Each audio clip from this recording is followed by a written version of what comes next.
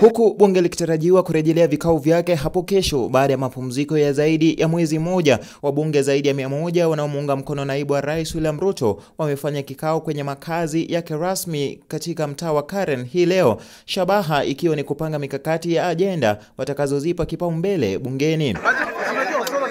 Licha ya rasharasha za mvua zilizogubika jiji la Nairobi, wajumbe hao walijiwasilisha kwa miendo iliyodhihirisha utimilizaji wa lengo maalum, na baada ya kikao cha ndani kwa ndani kilichochukua takriban saa tatu hivi, wabunge hao wakajitokeza na kusema haya: As a group we remain committed and focused on the people's needs and these include the revival of the economy, addressing the health of the people of Kenya vis-a-vis the COVID-19 epidemic. Kubwa zaidi kwenye kikao hicho likawa ni kuhusiana na suala la BBI, mrengo huo ukishikilia msimamo wao kwamba si jambo la dharura kwa sasa.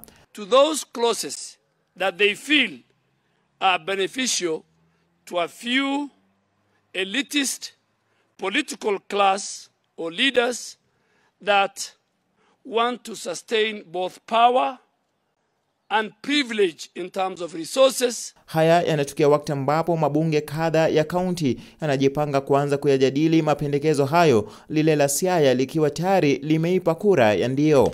including the security of His Excellency the Deputy President. Once the security is not sufficient, I think you obviously can tell that then the issue is not tidy.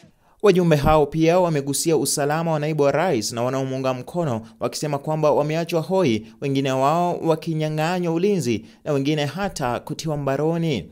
Suala la kumtimua William Ruto linaloongozwa na chama cha ANC pia likawa kwenye ajenda, wakisema kwamba mswada huo utakabiliwa vilivyo. I think the best thing to do, how to approach the matter is we'll have to wait.